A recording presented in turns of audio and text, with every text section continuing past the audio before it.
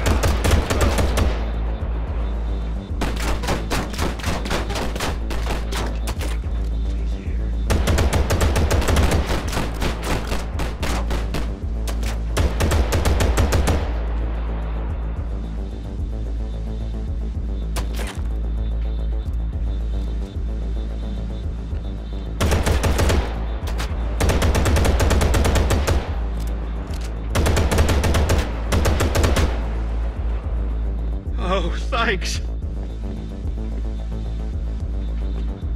Those bikers made me steal Mr. E-Man's formula. A bunch of them ran off with it towards the sewer.